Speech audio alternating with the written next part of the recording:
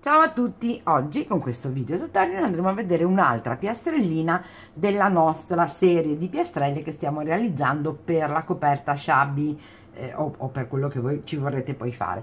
Questa qui è una uh, piastrellina eh, traforata, eh, croce e archetti, l'abbiamo battezzata, l'ho battezzata croce e archetti ed è una piastrella molto molto facile da realizzare e molto utile perché questa la potrete utilizzare ingrandendola quindi andando avanti sempre nella lavorazione e poi capirete che è veramente semplicissima potrete ingrandirla fino a farla diventare addirittura un centro tavola o una copertina insomma quello che più vi piacerà. Bene andiamo subito a vedere come si realizza la nostra piastrellina croce e archetti. Allora iniziamo la nostra piastrellina andando a realizzare un anello magico che chiuderemo con 3 catenelle. Quindi una due e tre.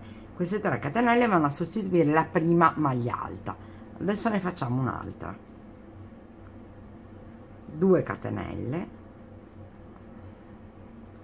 E procediamo per tutto il giro quindi per tutto l'anello magico a realizzare 2 maglie alte e 2 catenelle per un totale di 8 volte. Quindi una coppia l'abbiamo già fatta. Facciamo la seconda coppia di maglie alte una e due e due catenelle. Lo facciamo per altre sei volte. Andiamo a chiudere prima stringiamo l'anello magico poi andiamo a chiudere nella prima delle tre catenelle iniziali con una maglia bassissima quindi nell'ultima delle tre catenelle iniziali. Adesso andiamo a lavorare nuovamente 3 catenelle 2 e 3 catenelle facciamo una maglia alta subito sotto. 2 catenelle e nuovamente una maglia alta. Quindi subito sotto fra una maglia alta e l'altra facciamo un'altra maglia alta. E una ancora quindi un aumento maglia alta tra le due prime maglie alte. Adesso lavoriamo una due tre e 4 catenelle. Saltiamo 3 maglie alte quindi una 2 e 3 maglie alte. In mezzo fra la terza e la quarta maglia alta andiamo a realizzare nuovamente 2 maglie alte. Quindi una 2 maglie alte.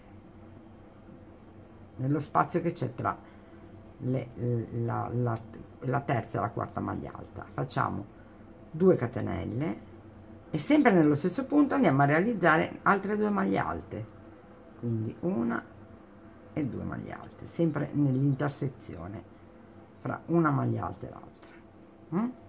adesso realizziamo una due tre 4 catenelle saltiamo nuovamente 3, cate 3 maglie alte 1 2 3 e nella quarta cioè tra la terza e la quarta ci reinseriamo e facciamo la stessa cosa quindi 2 maglie alte 1 2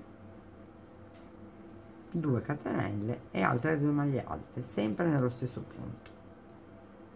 Una e due. 4 catenelle. Saltiamo nuovamente 3 maglie di base quindi 1 2 3 e intersezione. Entriamo.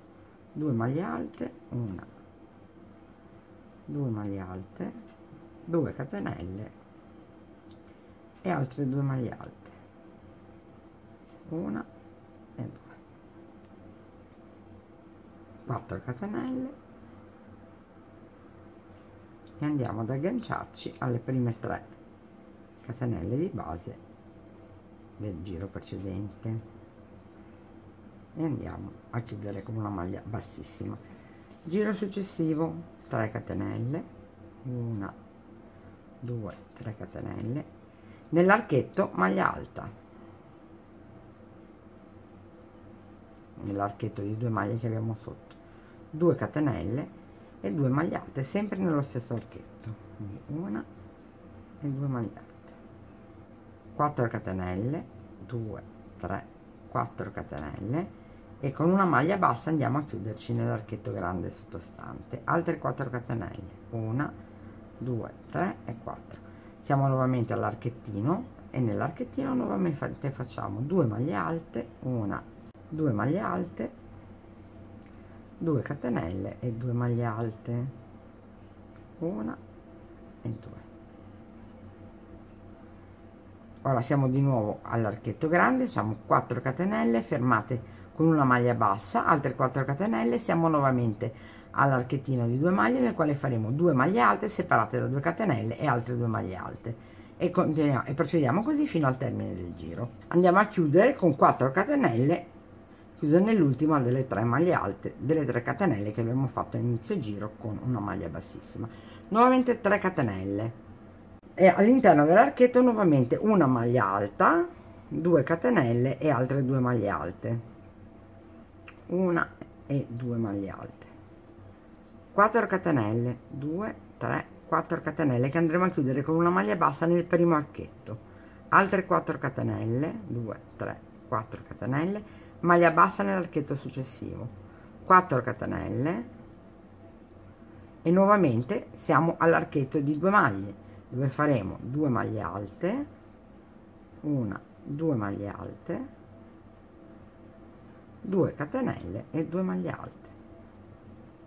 1 e 2 e procediamo con 4 catenelle chiuse nel primo archetto con una maglia bassa altre 4 catenelle chiuse nel secondo archetto con un'altra maglia bassa 4 catenelle e ci ritroviamo nuovamente all'archetto di due maglie nel quale faremo 2 maglie alte 2 catenelle e 2 maglie alte. E procediamo così fino alla fine del giro. Chiudiamo con 4 catenelle che andremo a chiudere nell'ultima delle 3 catenelle di inizio giro.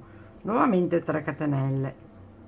E nuovamente all'interno dell'archetto di due maglie una maglia alta 2 catenelle e altre due maglie alte. Una e due. 4 catenelle. Chiuse nel primo archetto con una maglia bassa altre 4 catenelle. Chiuse sempre con una maglia bassa nel secondo archetto altre 4 catenelle. Chiuse nel terzo archetto sempre con la maglia bassa 4 catenelle. E siamo nuovamente all'archettino di due maglie quindi entriamo. Due maglie alte una due maglie alte 2 catenelle e 2 maglie alte. 1 2 1 2 3 4 catenelle maglia bassa nel primo archetto 1 2 3 4 catenelle maglia bassa nel secondo archetto 1 2 3 4 catenelle maglia bassa nell'archetto successivo 1 2 3 4 catenelle archetto di 2 maglie 2 maglie alte. 1 2 maglie alte 2 catenelle 2 maglie alte. 1 e 2 e procediamo così fino alla fine del giro. Quindi negli 4 catenelle chiuse nei tre archetti 4 4 e 4 con una maglia bassa. 4 catenelle 2 maglie alte 2 catenelle 2 maglie alte negli angolini e procediamo così per tutto il giro. Anche in questo caso andremo a chiudere con 4 catenelle 1 2 3 4 catenelle alla prima o ultima delle prime 3 catenelle iniziali 3 catenelle e andiamo a proseguire nello stesso modo fino ad avere la, la dimensione del nostro, eh, della nostra piastrella come ci piace. Io sto facendo piastrelle 10 x 10 e proseguirò con, mie, con, la, con la mia misura. Ovviamente in ognuna delle all'inizio faremo 3 catenelle e nell'archetto lavoreremo una maglia alta 2 catenelle e 2 maglie alte perché la prima maglia alta è sostituita dalle, dalle 3 catenelle iniziali.